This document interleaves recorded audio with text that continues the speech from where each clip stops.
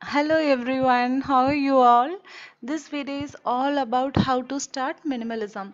Here I am going to share 10 points with you.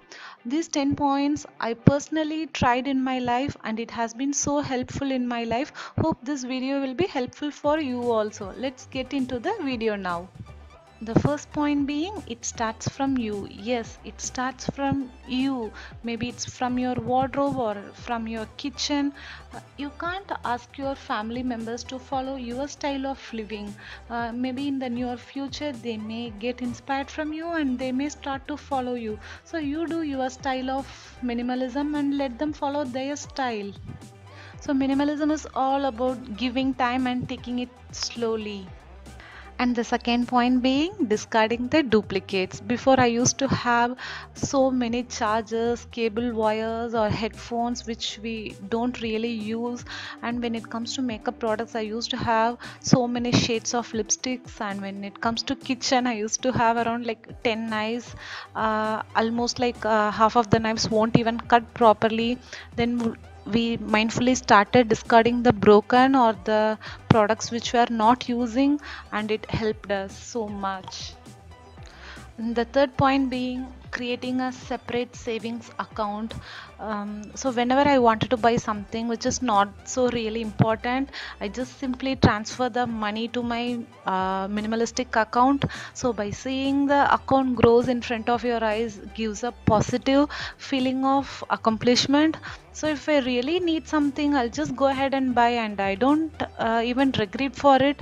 But i make sure that the products i'm buying are of perfect quality and it lasts longer so the fourth point being little control over everything. My parents in-laws and my partner know me very well that uh, i won't acknowledge the material things happily. So instead they started giving me uh, experience as a gift uh, so it may be uh, going out or spending time with family or going for a dinner or visiting a new place completely or it may be anything. And the important point is started to say uh, no. So i say no only for myself and not for my partner. I may not love the things but obviously he may love. So let's take in charge of only me not us and the fifth point being not judging. This i have done many times and i'm feeling bad about that now. So while decluttering you are going to realize that you have wasted a lot of money on things you may never ever have used. But that's okay. Be kind to yourself. After you decluttered all your life you have started to think mindfully about your life and then it's tempting to judge everyone else around you. It's not always intention. Uh, instead try to encourage but not preach inspire but not judge.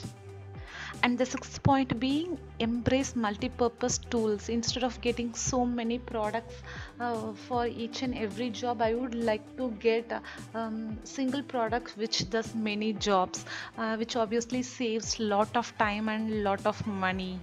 The seventh point being digitize everything so paper is the biggest clutter in the house. I know there are a lot of magazines newspapers and the pamphlets books and everything. Instead i would love to get audiobooks or ebooks instead of books but sometimes i do like to get books um, which i wanted to keep with me all the time. That time i'll go ahead and just buy.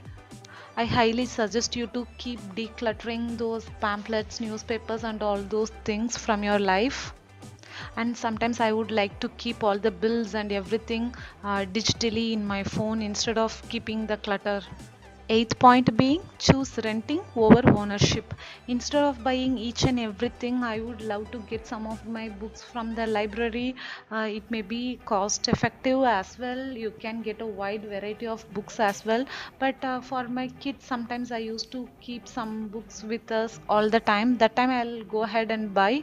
But some of the books we just study for some time and just we don't feel like reading for the second time. That time I'll just go ahead to the library this same thing applies for some other products as well. Like if you take camping things you will use once in a while. We don't need to buy everything. We can rent it over instead of ownership. Ninth point being visualize. Visualizing is such a great way to achieve your goals by visualizing you are creating a mental map in your mind. By creating a mental map obviously you will be working towards it. Visualize how your space wanted to be. Visualize how it you wanted to declutter. Visualize how your wardrobe wanted to look. Visualize how your clean space will give you a happiness. Visualize everything. You will just work towards it and you will finally end up doing it and the final point being getting rid of emotional clutter. So minimalism is not only about uh, decluttering the things or decluttering the materialistic things. It's not only about physical it is about emotional things as well. Keeping your mind free from all those unwanted things or unwanted junk is also a part of minimalism. Try to do that. Do let me know how you like this video. Thank you for watching